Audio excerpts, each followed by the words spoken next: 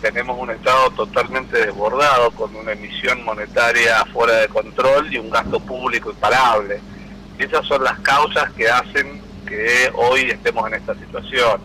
Bien, esto último se vio agravado porque el gobierno estaba esperando una determinada recaudación eh, de impuestos e ingresos de divisas por exportación de, granos, que se produce entre el mes de abril y mayo de cada año, es cuando se emitía el grueso de la cosecha exportable, y eso no sucedió así en gran medida por eh, la sequía que hubo que hizo que hubieran entre 20 y 23 mil millones de dólares menos de exportación de grano, eh, dólares que dejan de ingresar a las reservas del Banco Central, Banco Central que por su parte está sin reservas líquidas prácticamente, eh, dependiendo qué tome y cómo se mida, están entre los mil millones y positivos y los seis mil negativos de reserva.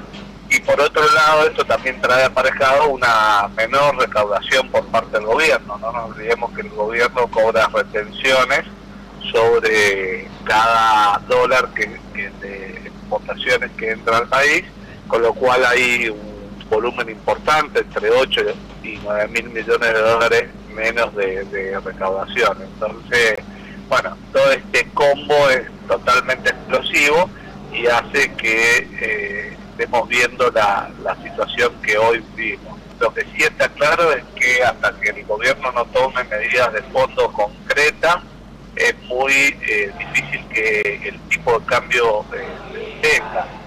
¿Y por qué digo esto? Porque el precio del dólar es un precio más de la economía, es decir, podemos tomar el precio del dólar, el del, el del paquete de lentejas del supermercado o el de la bolsa de azúcar.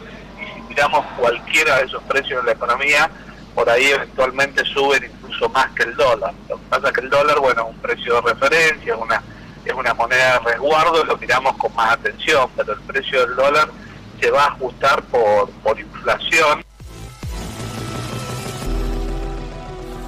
Medio perdido. Bien, continúa.